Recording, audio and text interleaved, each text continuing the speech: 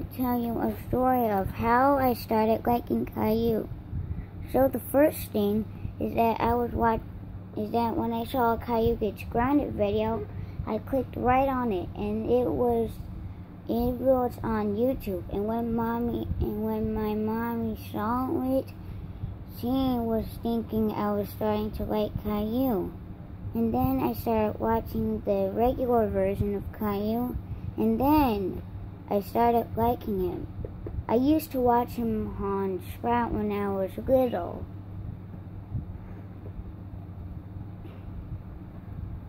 So, uh, this was a quick video. Please like and subscribe. Please like, comment, and subscribe to my videos.